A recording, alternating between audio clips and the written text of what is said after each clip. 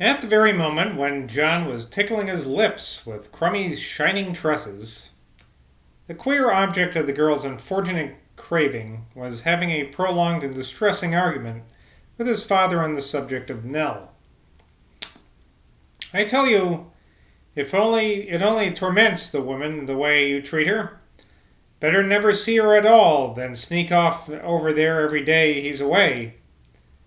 The museum actually echoed to the indignant tone of the vicar, and the lid of his tobacco jar that stood adjacent to the aquarium tinkled ominously against the glass. But she's gone um, seven months with our child, Father. And since the end of August, he's been at Wookey nearly all the time.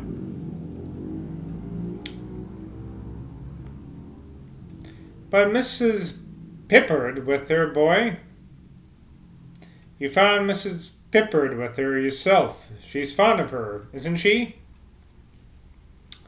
But, Father, when a woman's going to have a child, she's nervous and sensitive anyway. And when it's your own child she's going to have. The vicar, vicar's rugged face had become very red, and his formidable little eyes, like Sam's, only much grayer, had ceased to be gray and had become a curious blue color under his bushy eyebrows.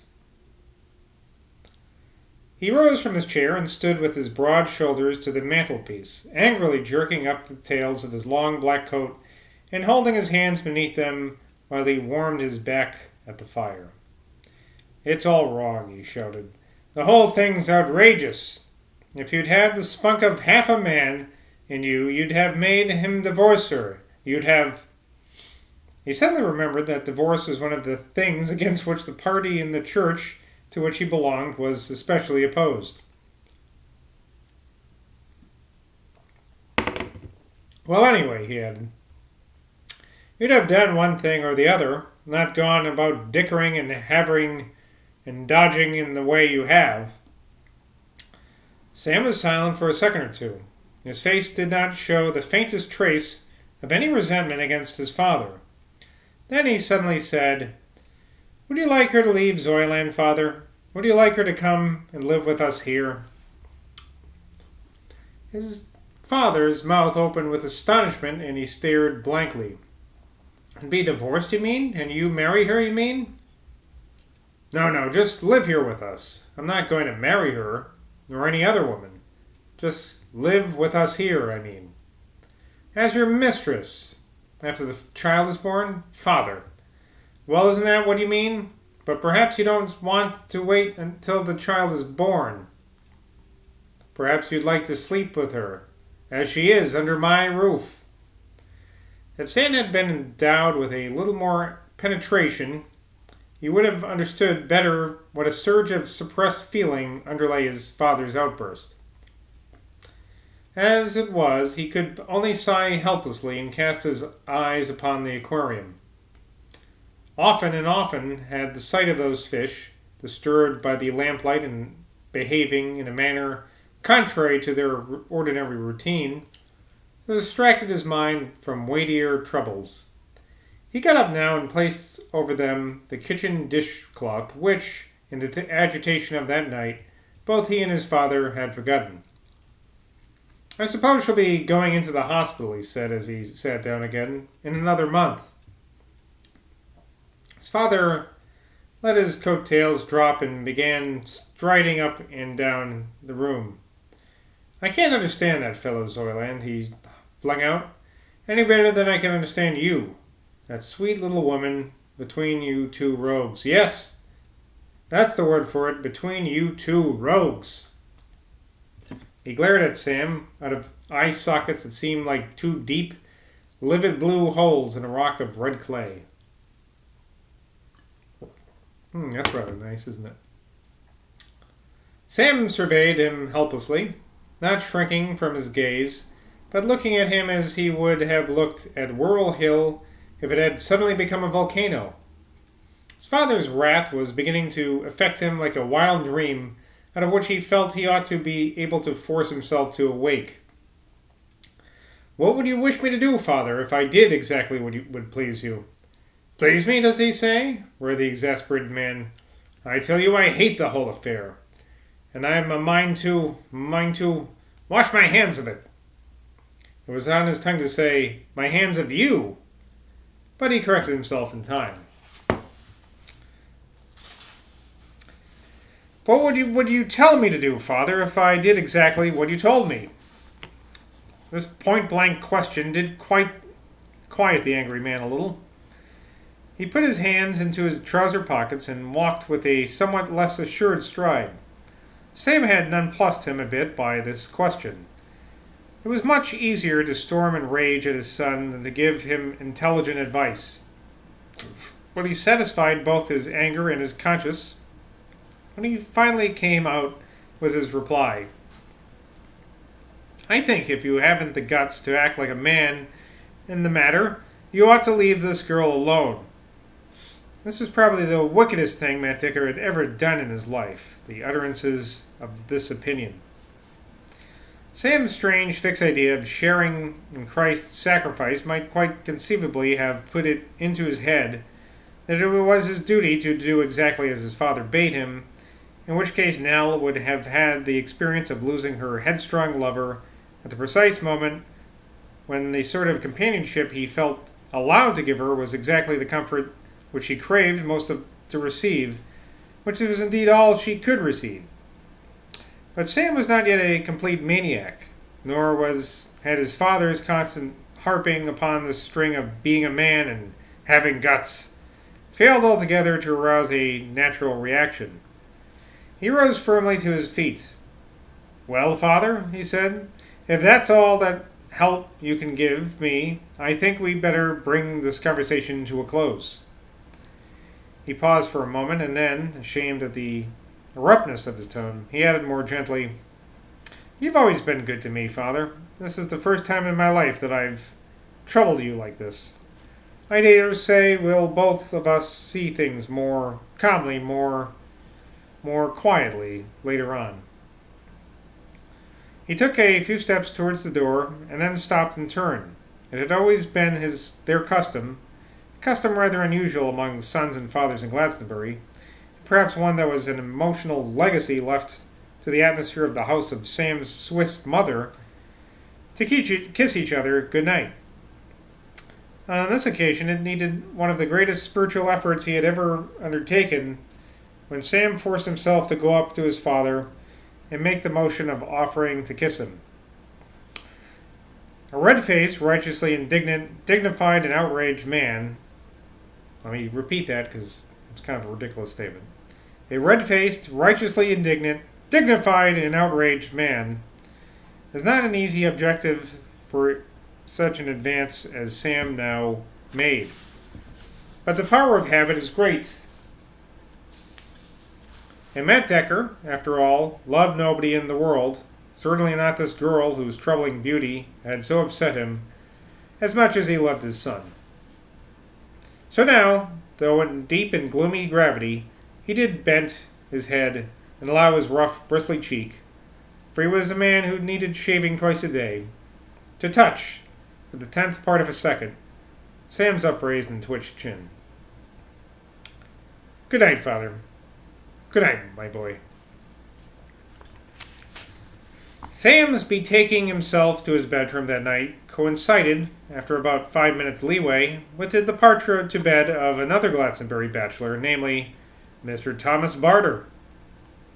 The steps up which this gentleman slowly and wearily climbed were much less pleasant to ascend than those dusted and polished by Penny Pitches.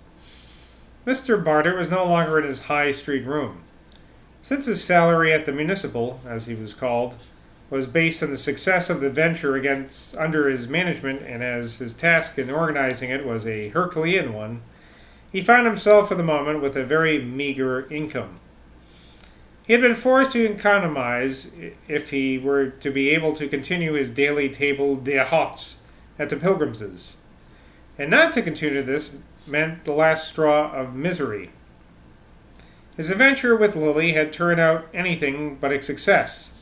This dreamy, romantic maiden had unexpectedly proven herself a past mistress in the art of giving nothing for nothing. As such kissing as he liked, where the auspicious ruins, an entrance fee every night, every time, for Lily refused to steal into the grounds over the Abbey House wall. Had such chaste delinquencies, but beyond kissing, absolutely not one single swollen, stolen sweet. Not swollen, stolen.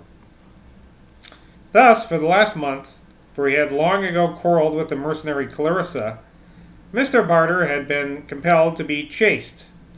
His sole pleasure during this epoch had been the tender but rather anxious one of snatching difficult assignations with Tossie Stickles. In default of all other feminine society, for Mary seems, since her marriage, deliberately to avoid seeing him alone, Mr. Barter clung quite pathetically to his interview with his ruined Toss. Her sweetness to him knew no bounds. With her, if they could only manage to escape observation, everything was permitted, nothing was forbidden, and all was for pure love. He got fonder and fonder of Tossie.